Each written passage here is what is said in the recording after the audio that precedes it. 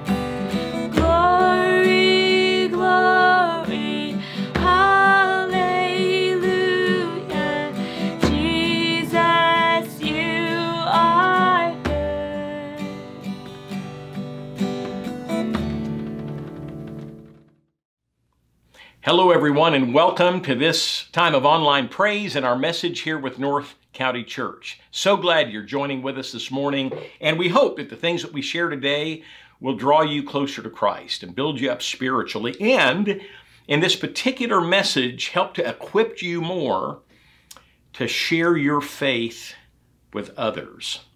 We're going to be looking at an early incident in the ministry of Jesus where he calls some of his initial disciples who will become apostles. You're going to recognize the names that are in this text. Luke chapter 5, we're going to be looking in just a couple of moments at verses 1 through 11. This is a place where Jesus catches the disciples in a moment of personal discouragement, no doubt, in their life. They've put in a hard night working and it has produced nothing for them. So they're about to end a day of hard work as fishermen with nothing to show for it. Maybe you've experienced that in your own life. No doubt all of us have. Luke chapter 5, beginning at verse 1. One day, as Jesus was standing by the lake of Gennesaret with the people crowding around him and listening to the word of God. He saw at the water's edge two boats left there by the fishermen who were washing their nets. He got into one of the boats, the one belonging to Simon, and asked him to put out a little from shore. Then he sat down and taught the people from the boat. When he had finished speaking, he said to Simon, Put out into the deep water and let down the nets for a catch. Simon answered, Master, we have worked hard all night and haven't caught anything, but because you say so, I will let down the nets. When they had done so, they caught such a large number of fish that their nets began to break. So they signaled their partners in the other boat to come and help them. And they came and filled both boats so full that they began to sink. When Simon Peter saw this, he fell at Jesus' knees and said, Go away from me, Lord, I am a sinful man. For he and all his companions were astonished at the catch of fish they had taken. And so were James and John, the sons of Zebedee, Simon's partners. Then Jesus said to Simon, Don't be afraid. From now on, you will catch men. So they pulled their boats up on shore, left everything, and followed him. I want you to think about this passage with me for just a couple of moments. Again, I mentioned that these men were at a place of discouragement. When Jesus comes to them and tells them to put out into the deep, they said, Master, we have worked all night long and have caught nothing. Isn't that a statement that describes life for so many of us? We work, and as the King James Version says, we toil hard, and sometimes it feels as if nothing happens, nothing is produced. Some of you might remember the cartoon character Ziggy. I saw a cartoon of his not too long ago. He was seated on a chair in his living room, and the caption simply read, Yesterday, opportunity knocked on my door but I was out back taking out the garbage. Have you ever felt discouraged like that, wondering if the opportunities of life might be passing you by? I think all of us have probably grown discouraged at some time because, again, we've worked hard at certain things only to see the fruit of our labor produce very little or nothing at all. So, as you read in this particular text, you can hear these feelings of discouragement in the words of these fishermen. Two fishing boats stand empty by the side of the lake. The fishermen, they've given up for the day. They're standing near the boats and they're washing and mending their nets, something that fishermen would do as they're getting ready to put things away and go and get some rest. Their faces are no doubt weary with discouragement. These are guys who don't fish for sport. Uh, you've seen the bumper sticker that says a bad day fishing is better than a good day working, right? Well, this is their work. And they've had a very discouraging time fishing. And whether you're a fisherman or in some other kind of work, you've probably experienced that same kind of discouragement. If you're a salesperson, perhaps you've known what it's been to make call after call, to go to prospect after prospect, only to be told no over and over again. Somebody said once that matinees at movie theaters are for salespeople who can't handle one more rejection. Or maybe you've poured your resources and your capital into a business to start a business and while you've experienced many rewards, perhaps, you've also had those times of setback where you've worked so hard, it seems that the wolf always stands poised at the door. Maybe you grew up on a farm and you realize the sinking feeling that these fishermen experienced when a crop is about to fail. And it's not because you haven't worked hard. That's the frustrating part. Maybe you've worked harder than ever, but the rains came at the wrong time. One week sooner, you would have had a bumper crop. Even our young people, they know about this. They, they know of times of discouragement. Maybe they've studied hard, worked to prepare for a test in school, but they get to school and suddenly realize they've studied the wrong chapter. They'd hoped for an A, and now they're just hoping that they can pass the test. I mean, we know the feeling of these fishermen. We know that they've worked hard. And yet, like so much of life, life can be discouraging. I read about a troubled man who went to visit his rabbi. He was wringing his hands and he said, Rabbi, I'm a failure. More than half the time, I don't succeed in what I must do. So the rabbi said, Is that right? He said, Listen, I want to give you some wisdom. I want you to go and look on page 930 of the New York Times Almanac for the year 1970, and then maybe you'll find peace of mind. Maybe. So the man took the rabbi's advice. He went away and he did that very thing. And on page 930, he found the batting averages of some of the greatest baseball players of all time at that time. As a matter of fact, Ty Cobb, one of the greatest sluggers of all time, he read, had a lifetime batting average of only 367. Even Babe Ruth didn't do so good. So the man went back to the rabbi and said in a kind of questioning tone, Ty Cobb? 367? That's it? The rabbi said, That is exactly right. Ty Cobb, 367. He got a hit once out of every three times at bat. Not even Ty Cobb batted 500. So what do you expect already? The man said, I've got the point. Here he had thought himself to be a wretched failure because he only succeeded in what he perceived to be half the time. So, discouragement, it's a part of life. All of us get discouraged at times. We can sympathize then with these fishermen standing beside their boats, cleaning their nets with absolutely nothing to show for their labors. And all they can now show are clean nets and hope for a better tomorrow. But then Jesus enters into the scene. Here is the answer to all discouragement, to all disillusionment, to all debasement. Let Jesus step in to the scene of your life and bring new meaning and a whole new purpose to your life.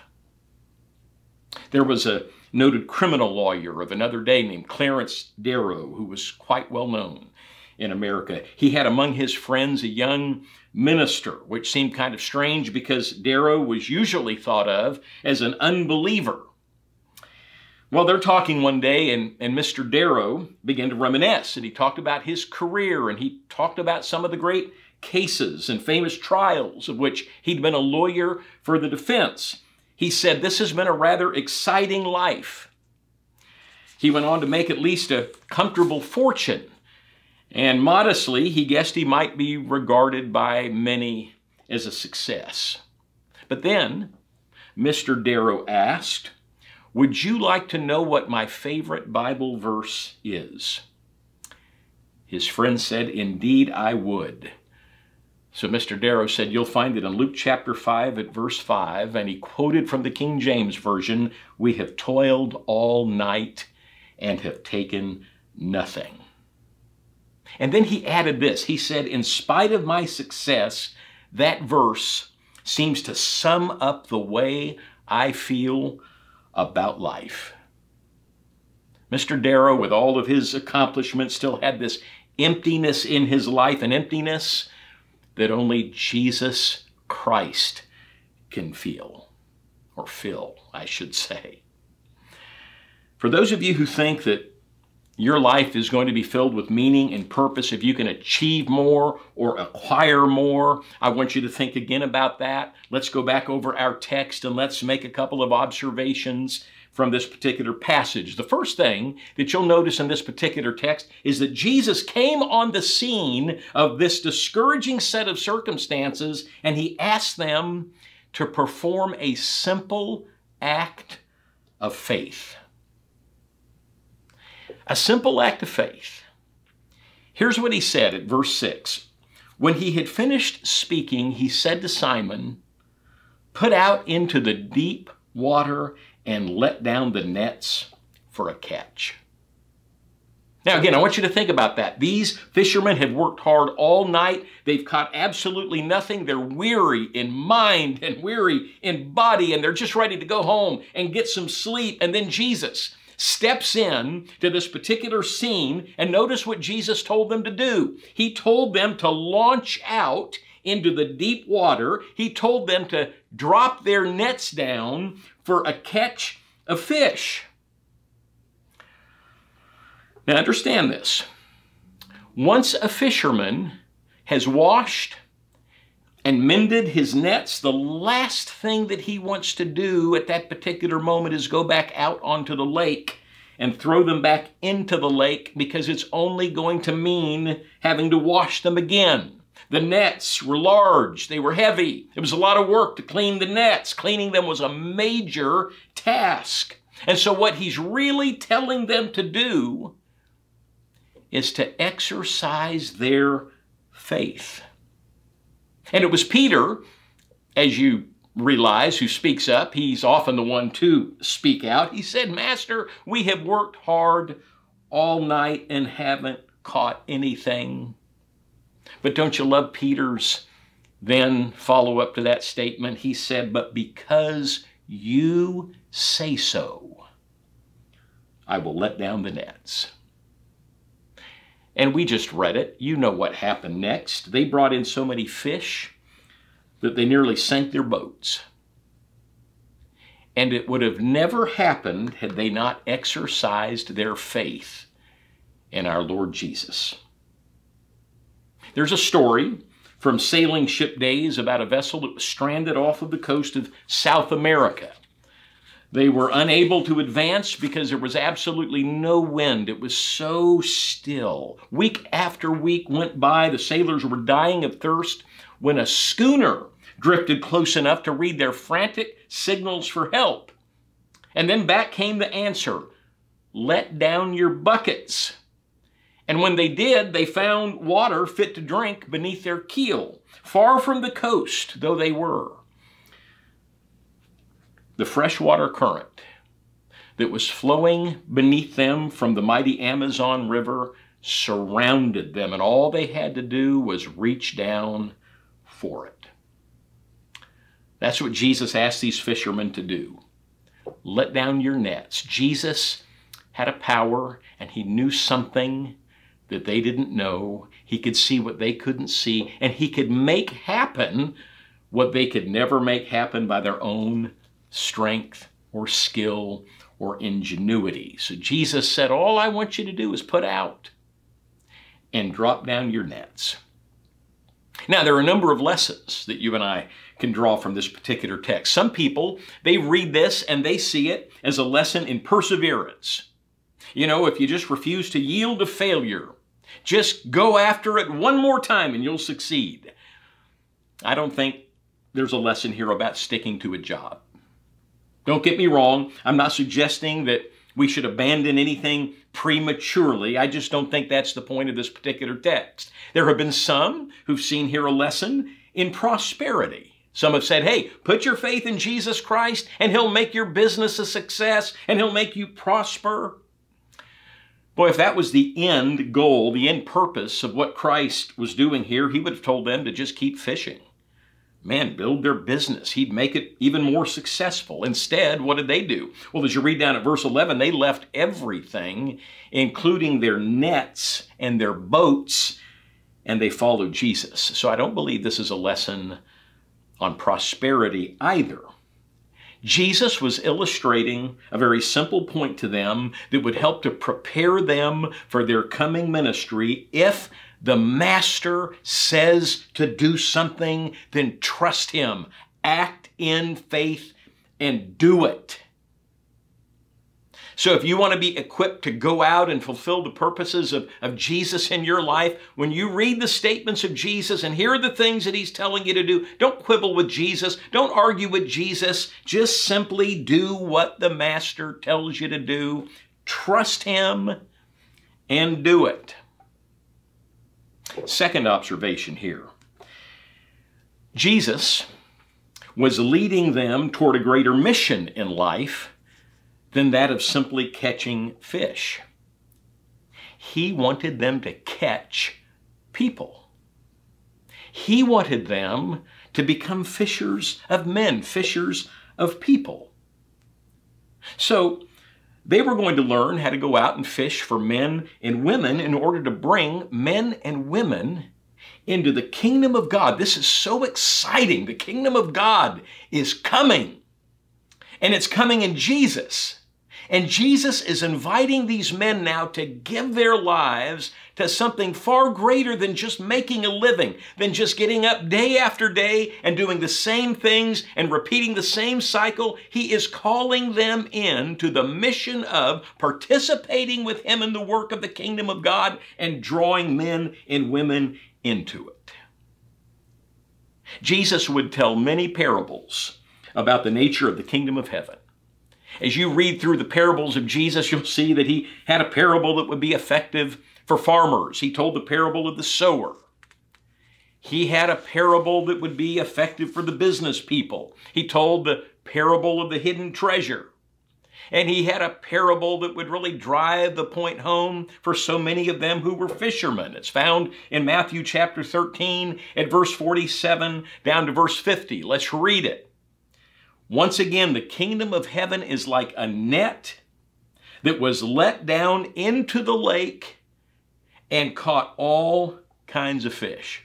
I'm relatively sure that when Peter, James, and John listened to that part of the story, they probably smiled and said, Well, we know exactly what he's talking about. When it was full, the fishermen pulled it up onto the shore then they sat down and collected the good fish in baskets, but threw the bad away. I got ahead of you a little bit there on the text. This is how it will be at the end of the age. The angels will come and separate the wicked from the righteous and throw them into the fiery furnace where there will be weeping and gnashing of teeth. Again, I'm sure that when Peter, James, and John heard this particular story coming from the mouth of their Savior, they thought of their own experience that day when they had put their nets down and brought in this great haul of fish. And now what happened there is becoming all the more clearer to them. Remember that story I told you a few moments ago about Clarence Darrow, whose favorite passage in the Bible was Luke 5 5. We have toiled all night and have taken nothing. Well, Peter and his fellow fishermen are about to embark on an entirely new course of life, a life in which their purpose will not be tied to an occupation or to some level of achievement here, but to the mission of God for their life. And that mission would fill their hearts and their minds with purpose because the results of this, this new mission they were embarking on would be eternal. Some of us might look at verse 5 and we'd say, wow, I mean, that's fanaticism. They got carried away. And indeed, they did get carried away and carried along by a vision that Christ had instilled in them. That vision being that their life would not simply be about hard work in the hope of some payoff in the here and now, but that their very labor moving forward would contribute to the coming of and the advancement of the very kingdom of God. And the point of this particular passage is not that every person should abandon their particular vocation or job to become an evangelist, and that you're less committed to the Lord if you don't. I mean, certainly that was the case for Simon Peter and these other fishermen. He and these would go on to become uh, some of the 12 apostles who would become messengers of Christ, who would form the very foundation of the church with a very special mission.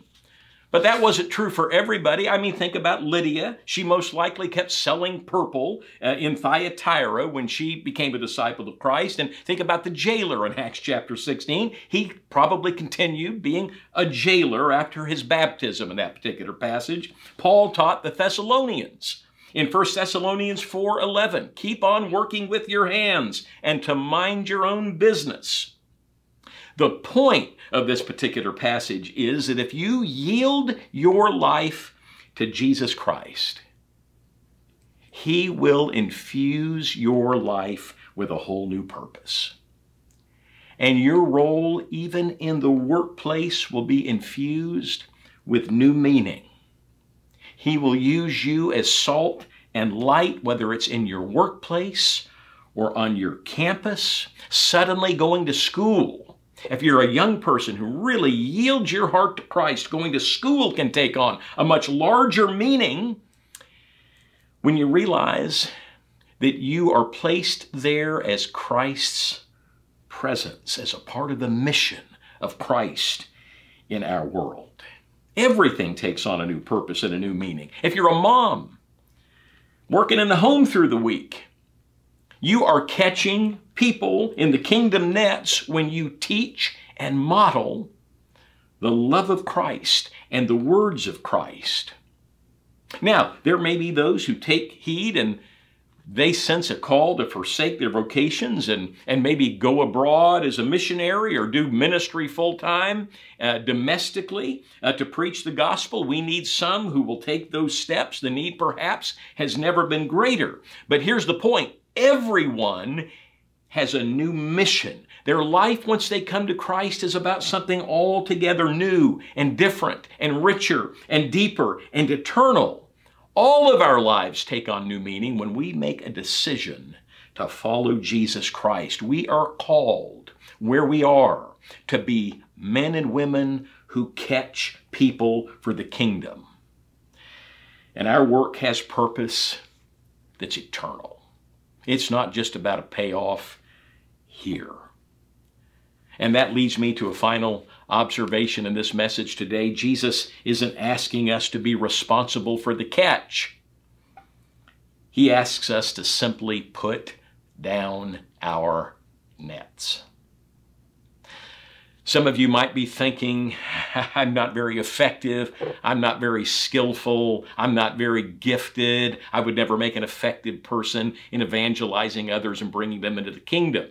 But the point of this particular parable is it's not about how effective or skillful or talented or gifted you may be, it is about what Jesus can do in us and through us when we simply yield our lives to Him. All he's asking us to do is not be responsible for the catch. They couldn't be responsible for the catch. They were just simply asked to put down their nets into the deep. So let me ask you this today, follower of Christ. Have you been launching into the deep? Fishing for people, it takes some risk. As it was with the case of Peter and these other fishermen, it, it takes a willingness to do some things that you, by nature, may not want to do at first, that may not even seem logical or rational to you at first. And it may be that you don't feel worthy to try catching people for Christ. People know too much about your past, perhaps. You say, boy, they, they know what my life has been about. Your life before you were a Christian. Man, they'd never listen to me. I think it's interesting in this particular text that Jesus chose those who might be unlikely fishermen for people to step out into this mission. I mean, why call these? Peter was painfully aware of the sin in his own life. And when he saw the miracle that Christ performed here, as you read there in Luke chapter 5, what does he do? He falls down at Jesus' knees and he said, Go away from me, Lord. I'm a sinful man. When you really let it take hold in your heart of who Jesus is, maybe you look at Christ and you look at the glory of Jesus and you're starting to learn who he is, and you say about Jesus, I am far too unworthy to ever be accepted by this man, let alone used by this man. That was Peter. He falls down in absolute brokenness and contrition. Lord, go away from me. After he sees that miracle, he knows he's in the presence of God's very Son. And he says, Go away, Lord. I'm a sinful man. And what did Jesus say to him? Jesus looked him in the eyes and said, Peter, don't be afraid. From now on, you'll catch people. If you decide to give yourself to Jesus Christ, He'll take your life and cleanse it. He'll cleanse you of all your sin. He'll forgive your past and He'll give you new life and He'll give you a new mission. He will use you to catch others. So, it means being ready to fish for people who seem like unlikely candidates. Jesus took hold of our hearts, and we, like Peter, might see ourselves as unlikely candidates. And then if we go out to fish, it means that we need to be willing to go after others who seem like unlikely candidates. And to just, to use another metaphor, scatter the seed indiscriminately and let it fall into human hearts to see who will respond. When they cast out their nets, they didn't line fish. They cast out a net to bring in, as the parable says, all who would come into that net. John Wesley, he was stopped one night by a man out on the highway who robbed the minister of everything that he had. Wesley said to the man who was robbing him, if the day should come that you desire to leave this evil way and live for God, I want you to remember that the blood of Jesus Christ cleanses from all sin. How many would think to say that to a man who was robbing them? Man, you talk about an unlikely prospect, an unlikely candidate. But some years later, Wesley was stopped by a man after a church service who said, Do you remember me? The man said, I robbed you one night. And you told me about the blood of Jesus Christ and how it cleanses from all sin. He said, I want you to know Christ has changed my life. Fishing for people means being willing to remove oneself from the safety of the docks where the nets are washed to launch out into the deep. So let me ask you again the question Where have you launched your nets recently? Have you invited your next door neighbor to attend worship? Have you reached out to a friend at school and encouraged them to come and join with you in a youth activity? Or in this particular context, maybe at one of our evening gatherings. Of course, I know right now students are working online, so this takes a new level of creativity in inviting people but maybe you can let people know that we have a gathering every week. There's a spiritual hunger, all indicators are saying, of people in our culture today with all that's happening in 2020. There's a spiritual hunger where people are starting to search and seek. And this may be a great opportunity, maybe one of our greatest opportunities to cast out our nets in creative ways and to put them out there and to see who might respond. I remember when I was in high school, a friend of mine in our youth group asked me, I was a senior at one high school and she went to a campus, it was an open campus. She said, I'm thinking about getting a little Bible study going on my campus at lunch, and I'm wondering if you would come and lead it and just talk about some of the simple parables of Jesus. And so I thought, well, if she's open, I'm open. So at lunchtime, I left my own campus, went over to hers that was nearby, and we started this little Bible study. And one by one, we started seeing students come to faith in Christ and be baptized into Christ. It was a risk. Somebody might say, high school students? Come on, there's not a spiritual hunger there, is there? And yet there really is. It's one of the most open times for a person to potentially be responsive to the gospel. What started out with two or three ended up being 15 to 20 week after week at lunchtime, opening up the Word of God. And there's example after example of people launching out into the deep, just taking some risk, just saying, let's put down the nets and see who Jesus brings into the nets. So, where are you casting your nets? And keep this in mind, and this is so important and it's a part of this text. You're simply called to fish. When they did what Christ told them to do, they caught such a large number of fish that their boats began to break. Their nets began to break. Jesus is responsible for the haul. He just calls us to put out our nets. He doesn't say that we have to make things happen ourselves. In fact, this idea is found throughout Scripture.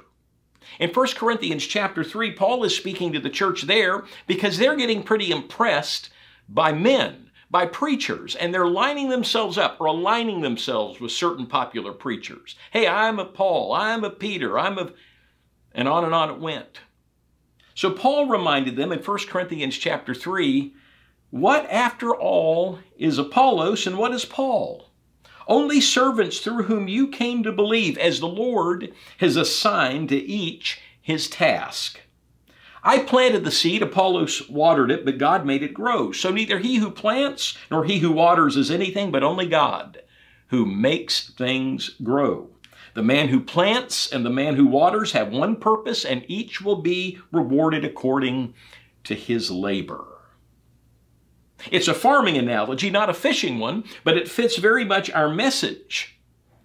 In addition, Paul taught that you never know when opportunity to lead another to Christ might appear in your life. So you ought to be praying for opportunities. And then, if you're going to pray for opportunities, keep your eyes open and redeem the opportunities around you. He said in Colossians chapter 4 at verse 2 devote yourselves to prayer, being watchful and thankful. And pray for us too that God may open a door for our message so that we may proclaim the mystery of Christ for which I am in chains. Pray that I may proclaim it clearly as I should. Be wise in the way you act toward outsiders. Make the most of every opportunity. Let your conversation always be full of grace, seasoned with salt, so that you may know how to answer everyone. It's as if Paul is saying, pray for opportunities, watch for opportunities. See every contact with somebody who doesn't know Jesus as an opportunity to maybe bring them to Christ. Watch the way you speak. Let your speech be seasoned with grace, seasoned with salt, so that you'll know how to answer everyone because you never know when God is going to, through that opportunity and through that seed that's planted and watered, draw somebody to Christ. So, let me encourage you, Christian, put out into the deep. Let down your nets. Pray for opportunities. Look around you. Seize opportunities. Extend invitations. Encourage people to watch our messages week to week in our present environment. Maybe invite somebody to one of your outdoor life groups where people are meeting outdoors and just talking about the Word, or to our Sunday night gathering at Grape Day Park, where people can hear Christ and hear the worship and have seeds planted and seeds watered. Let's be a people putting down our nets. Let's meet the spiritual hunger of our time with the food that we know can and will fill it. if we just put it out there. So, brothers and sisters, I hope you'll take this as a challenge and a reminder of the call that, that whether or not you're one that ever leaves your profession or your vocation or stays right in it, that wherever you are, Jesus has called us to fish for people.